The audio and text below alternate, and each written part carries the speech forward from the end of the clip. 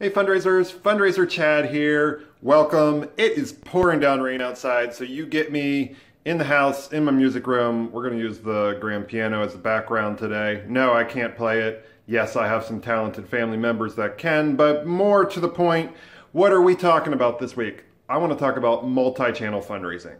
You can't just do one channel.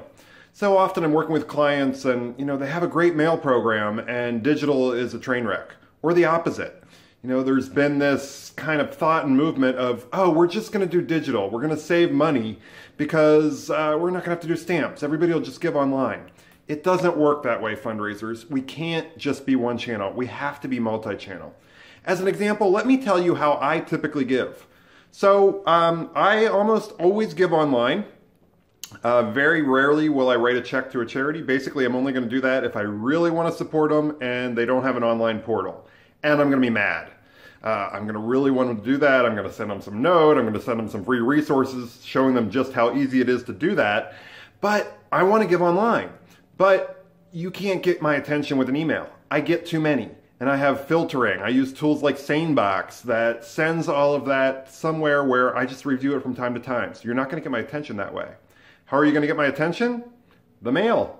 I don't get much mail these days, especially if you make your appeal not look like a bill, make it look interesting, you know, something I want to open that stands out in my mail pile. Those are some of our best practices with mail. So send me good mail, I'm going to open it, then tell me a story, you know, get my attention right away and move me. Then I'm going to say, okay, yeah, I, I want to do this. I'm not going to do it right then, but I'm going to put it in my box with bills that need to be paid. And when I do that, then I'm going to pay it but not by writing a check, by going to your website and making a donation. That's how multi-channel can work together, all right? I'm gonna give online. I probably look like an online donor to you in your database, but it was the mail that actually made me give. You know, if there was a follow-up email, like a week after I um, received that, you know, maybe that would prompt me if it looks the same. They can work together in tandem to increase response rates.